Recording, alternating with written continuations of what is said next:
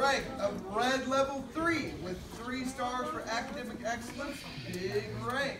Cole Reese. All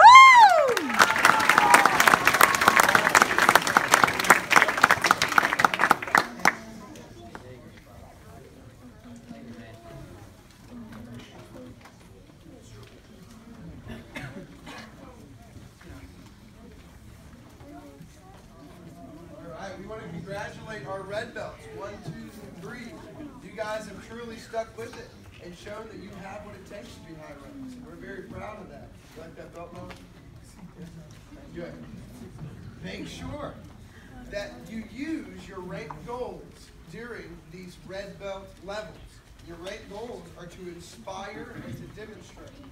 As you get older and as you progress in, in Taekwondo, your goal isn't now to just make yourself better. It's to make others better. Especially at this prestige rank, when a white belt walks in the door for their first class and they see y'all with your awesome red belt, they know that you know something.